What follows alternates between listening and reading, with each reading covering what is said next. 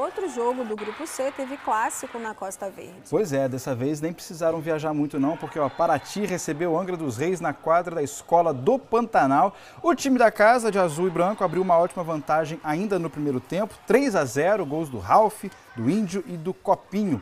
Na segunda etapa, Angra voltou melhor diminuiu com o Lucas e o Luan, mas Paraty segurou a pressão, fez mais dois com o Ralf de novo e o Lucas Remédios e venceu bem diante da torcida. 5 a 2, devolveu né, a derrota do primeiro turno, Angra tinha vencido por 4 a 1. Com essa vitória, então, Paraty pula para o segundo lugar do grupo C com 9 pontos, Angra caiu para a quarta colocação com 6 pontos. Que tão legal, né, Diego, ver a bancada cheia, a torcida prestigiando, Exatamente. né? Botadão. Muito bom Bacana. isso. Então, se você quer prestigiar a sua equipe, a Copa Rio Sul de Futsal volta no fim de semana. Muito bem, mais três jogos, mais seis, né? A gente tem três no sábado, mais três no domingo. A gente vai trazer agora os detalhes dos jogos de sábado para você se organizar, planejar e incentivar a sua cidade.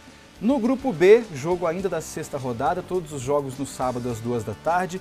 Pinheiral e Vassouras no CIEP 291 Dom Martinho Schluder em Pinheiral. Vamos pro próximo jogo, também pelo grupo B, sábado às duas da tarde, Rio Claro enfrenta Barra Mansa no ginásio Silvano dos Santos Arruda, o Batatão em Rio Claro. E aí a gente tem pelo grupo C, que foram esses grupos de ontem, né? Então Três Rios e Paraty já voltam a jogar no sábado. E aí jogo já válido pela sétima rodada, né? Seria a segunda rodada do retorno.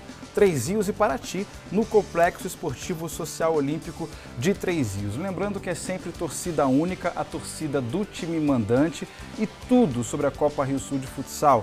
Os jogos, a tabela completa, classificação, artilheiros, reportagens, é só acessar ge.globo barra TV Rio Sul.